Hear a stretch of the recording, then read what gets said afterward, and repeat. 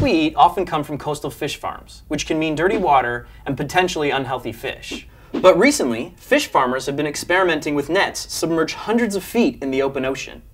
Teams of divers feed and monitor the fish just like any farmer would on land. Deep sea fish farming has its benefits. It avoids the pollution created by coastal farms when they have millions of fish penned in shallow, still water. Because the deep ocean currents are constantly purifying the water, that means fish that are healthier, larger, and taste a lot more like their wild cousins. The main problem is maintaining the nets in the turbulent environment of the open ocean. The cages are suspended from buoys on the surface, and their buoyancy must be maintained at all times like a submarine. Right now, the industry is a small fish in a big ocean. But hey, it's a good start.